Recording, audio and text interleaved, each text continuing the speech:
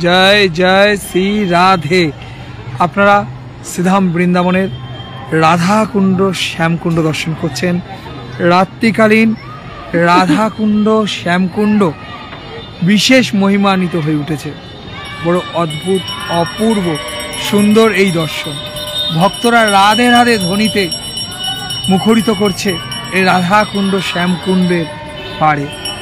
আর কত ভক্ত তাদের অন্তরের প্রেম দিয়ে রাধাকুণ্ডে, শ্যামকুণ্ডে প্রদীপ প্রজ্বলন করছেন।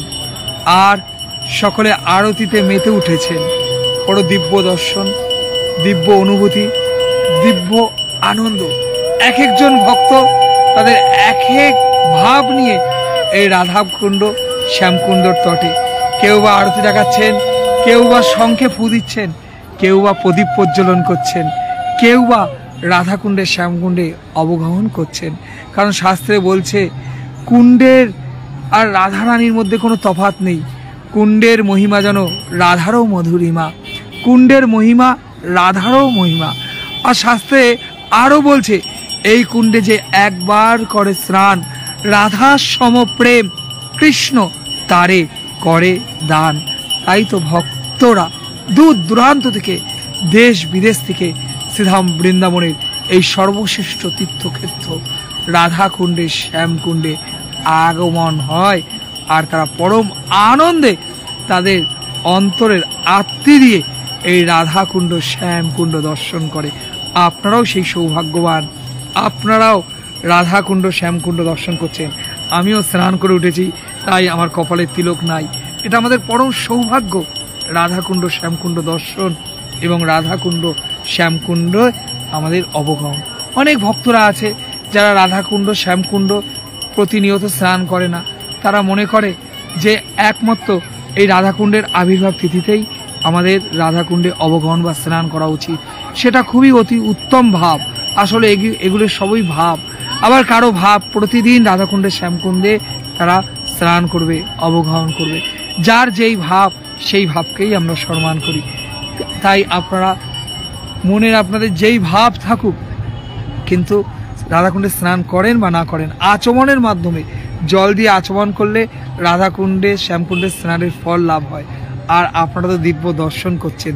তাই আজ রাধাকুণ্ড, শ্যামকুণ্ড দর্শনের মাধ্যমে আপনাদের এই রাধাকুণ্ডের, শ্যামকুণ্ডের কৃপা লাভ হচ্ছে।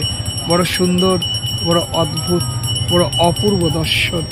সেই রাধাকুণ্ড, শ্যামকুণ্ড যা রঘুনাথ দাস গোস্বামী ভজন ভূমি, যা রঘুনাথ দাস গোস্বামীর বিশেষ কৃপা প্রদত্ত এই রাধাকুণ্ড শ্যামকুণ্ড। আজকের যে রাধাকুণ্ড শ্যামকুণ্ড দেখছেন, এই রাধাকুণ্ড শ্যামকুণ্ড এক সময় মহাপ্রভুর সময় লুপ্ত হয়ে গেছিল এবং একটি ধান খেতে পরিণত হয়েছিল। কিন্তু যখন মহাপ্রভু শ্রীধাম বৃন্দাবনে আসলেন, তখন এই ধান খেতে এই ধান্য ক্ষেত্রে মহাপ্রভু অল্প জল দিয়ে মস্তকে দিচ্ছিলেন, স্নানাদি করছিলেন। তখন সমস্ত ব্রজবাসীরা ছুটে এসেছিল এবং মহাপ্রভুর এই দিব্য রূপ দর্শন করে বুঝতে পেরেছিলেন, এ কেউ সাধারণ কেউ নয়। তিনি তো সাক্ষাৎ গৌর হরি, সাক্ষাৎ ভগবান শ্রীকৃষ্ণ। যেই গৌর, সেই কৃষ্ণ, সেই জগন্নাথ। তাই যখন মহাপ্রভু এইভাবে যখন স্নান করছেন এই অল্প জলে, তখন সকলে জিজ্ঞেস করেছিল, এটা কি? তখন মহাপ্রভু এই রাধাকুণ্ড, শ্যামকুণ্ডের কথা বলেছিল। এই কুণ্ডে রাধা কৃষ্ণ দিব্য লীলাবিলাস করেন, জল কেলি করেন, আর পারে রাস রঙ্গে মেতে ওঠেন। দিব্য ভূমি, দিব্য স্থান, এই রাধাকুণ্ড, শ্যামকুণ্ড আপনারা দর্শন করুন এবং আপনাদের দুর্লভ মনুষ্য জন্মকে সার্থক করুন। পরম আনন্দের এই রাধাকুণ্ড, শ্যামকুণ্ড। বড় দিব্য স্থান। রঘুনাথ দাস গোস্বামী এই রাধাকুণ্ডের পাড়েই দিব্য ভজন করত। এ পরম আনন্দ, আপনারা সেই রাধাকুণ্ড, শ্যামকুণ্ড দর্শন করুন। অনেক কথা এই রাধাকুণ্ড, শ্যামকুণ্ড নিয়ে আছেন। রঘুনাথ দাস গোস্বামী যখন এই রাধাকুণ্ডের পাড়ে ভজন করতেন, তখন এত সুন্দর রাধাকুণ্ড ছিল না। আপনাদের বললাম, পরবর্তী সময় রঘুনাথ গোস্বামী মনে অভিলাষ হলো যে মহাপ্রভু যখন এই রাধাকুণ্ড শ্যামকুণ্ড লুপ্ত তীর্থ উদ্ধার করবার অভিপ্রায় করেছিলেন তা আমি যদি এই রাধাকুণ্ড শ্যামকুণ্ড খনন করতে পারি। কিন্তু পরক্ষণেই তিনি ভেবেছিলেন যে আমি রাধাকুণ্ড শ্যামকুণ্ড খনন করব এতে তো অর্থ লাগবে আর বিষয়ের মতো কেন আমি চিন্তা করব? সমস্ত বিষয় ছেড়ে রাজপুত্র জমিদার পুত্র রঘুনাথ দাস গোস্বামী সমস্ত কিছু ইন্দ্র সম ঐশ্বর্য আর অপ্সরা সম স্ত্রী ত্যাগ করে রঘুনাথ দাস গোস্বামী চলে এসেছিলেন রাধাকুণ্ডে। তাই তার মনে এই ভাব এসেছিল, এই কুণ্ড খনন করতে গেলে তো অনেক অর্থর প্রয়োজন, এই অর্থ আমি কোথায় পাব? তার জন্য তিনি তার মনের এই অভিপ্রায় ত্যাগ করেছিলেন। কিন্তু ভগবান যদি চায়, আর কোনো কিছুকে আটকায়, আর ভক্তের ইচ্ছা, ভক্তের মনো ইচ্ছা তো ভগবানের ইচ্ছা, ভগবানের ইচ্ছাই তো ভক্ত দ্বারা প্রতিফলিত হয়। তাই সেই দিনই এক শেঠ যখন বদ্রীনাথ কেদারনাথ দর্শনে যাচ্ছে, ভগবান তাকে আদেশ দিলেন যে তুমি কোথায় যাচ্ছ? তুমি যাও রাধাকুণ্ড, শ্যামকুণ্ডর পারে আমার ভক্ত রঘুনাথ আছে, তুমি তোমার অর্থ দিয়ে তাকে সহযোগিতা করো। তাই সেই শেঠ এসে তখন রঘুনাথ দাস গোস্বামীর কাছে প্রার্থনা করেছিল, আপনি কুণ্ড খনন করুন। ভগবান আমাকে নির্দেশ দিয়েছে, আমাকে এই সেবা করবার সুযোগ দিন। তখন রঘুনাথ দাস গোস্বামী ভাবলেন যদি ভগবানের ইচ্ছা হয়, মহাপ্রভুর ইচ্ছা হয়, কৃষ্ণচন্দ্রের ইচ্ছা হয়, তাহলে আমি কি করতে পারি? তাই তখন রঘুনাথ দাস গোস্বামী এই কুণ্ড খনন করেছিল। বড় সুন্দর এই কুণ্ড। রাধারানী স্বয়ং নিজের কঙ্কন দিয়ে এই কুণ্ড খনন করেছে। বড় দিব্য। সেই কথাও বড় সুন্দর। রাধাকুণ্ড শ্যামকুণ্ডর আবির্ভাবের কথা। সেটা ভগবান শ্রীকৃষ্ণের যখন লীলাবিলাস হচ্ছিল, সেই সময়কর কথা। যখন অরিষ্ঠাসুরকে বধ করেছিল আমার গোবিন্দ, তখন রাধারানী ও ব্রজগোপীরা বলেছিল, কৃষ্ণ, তুমি অরিষ্ঠাসুরকে বধ করেছ? অর্থাৎ তোমার গাভী হত্যার, সার হত্যার। অরিষ্ঠাসুর কি হয়েছিল? এক বিষর বেশে, এক সারের বেশে এসেছিল। তাই গাভী হত্যার পাপ তোমার লেগেছে। ইন্দোর যদি বৃত্তাসুরকে বধ করে, তাকে যদি প্রায়শ্চিত্ত করতে হয়, তাহলে তোমাকেও প্রায়শ্চিত্ত করতে হবে।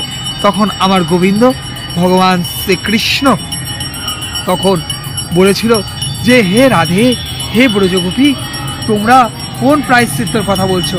আমি কোন প্রায়শ্চিত্ত করব? তখন রাধারানী বলল, তোমাকে সমস্ত তীর্থে স্নান করতে হবে। রাধারানী আর ব্রজগোপীরা যখন সমস্ত তীর্থ স্নানের নির্দেশ দিল, তখন গোবিন্দ বলল, ঠিক আছে।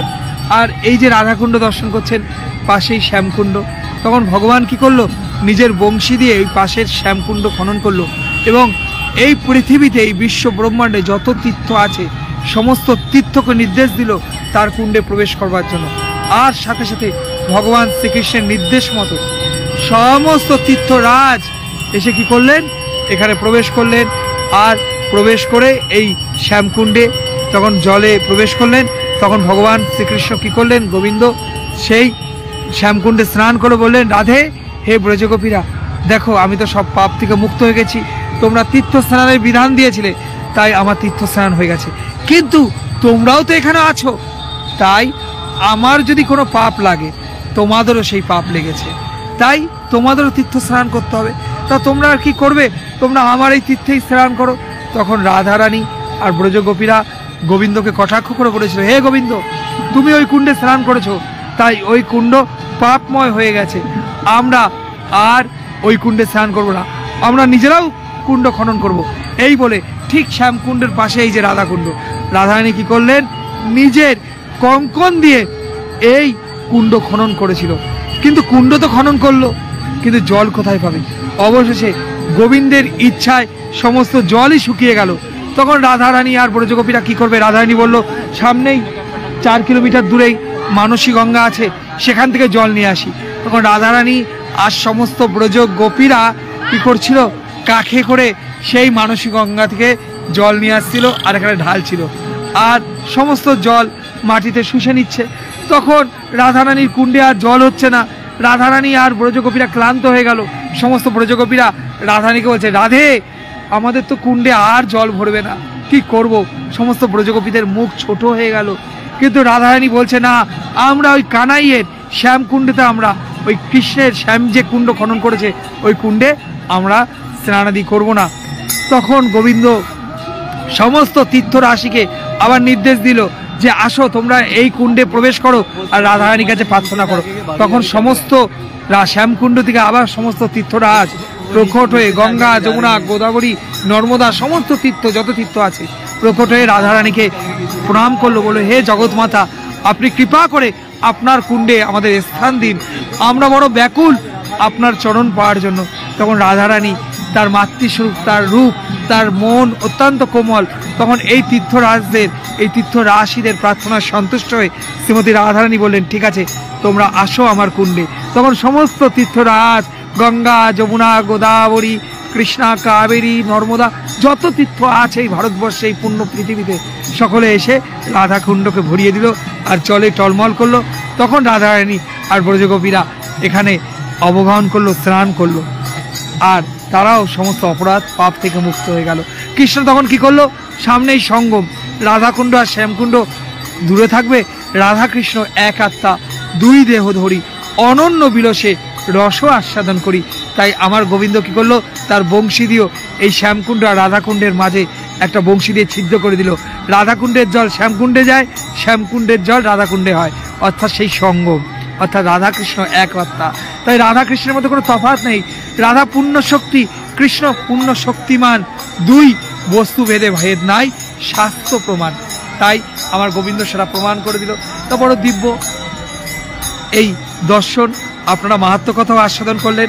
রাধাকুণ্ড শ্যামকুণ্ড নিয়ে অনেক কথা আছে। কথা শেষের নয়, কিন্তু সময়, সময়ের আমরা দাস। তাই আজকের এই লাইভটি বিশ্রাম রাখব। আপনারা দর্শন করুন। কত ভক্তরা প্রদীপ প্রজ্বলন করছে এই রাধাকুণ্ডে। শ্যামকুণ্ডে। আর কিছুক্ষণের মধ্যেই আরতি শুরু হবে। রাধাকুণ্ডের পরে পারে যে দিব্য আরতি, আপনারা হরিদ্বারের আরতি দর্শন করেছেন, আপনারা কাশী বেনারসের আরতি দর্শন করেছেন, আর এখন রাধাকাণ্ডের পারে এই দিব্য আরতি দর্শন করেন। ভক্তরা কত সুন্দরভাবে আরতির আয়োজন করছে, দেখুন। বড় বড় প্রদীপ প্রজ্বলন হবে এবং আরতি হবে। বড় সুন্দর মুহূর্ত, বড় সুন্দর দর্শন, বড় দিব্য দর্শন। যারা যারা আছেন, তাদেরকে অনেক অনেক ধন্যবাদ। এই রাধাকুণ্ড, শ্যামকুণ্ড দিব্য দর্শন করুন এবং রাধারানীর কৃপা আপনারা সকলে নিয়ে যান। বড় সুন্দর এই কৃপা, বড় অদ্ভুত, অপূর্ব এই দর্শন। আপনারা এই দর্শন করুন এবং পরম পরম আনন্দ লাভ করুন। সকলকে অনেক অনেক ধন্যবাদ। রূপা দেবনাথ মাতাজি আছেন সকলে দেবী, রানী মাতাজি আছেন। যারা আছেন তাদেরকে অসংখ্য অসংখ্য ধন্যবাদ। বিম বাবুল দেবনাথ প্রভু আমাদের সাথে আছেন। হরি বল। বড় সুন্দর দর্শন। এই দর্শন আপনারা করুন। বড় মধুর এই দর্শন। হরি বল।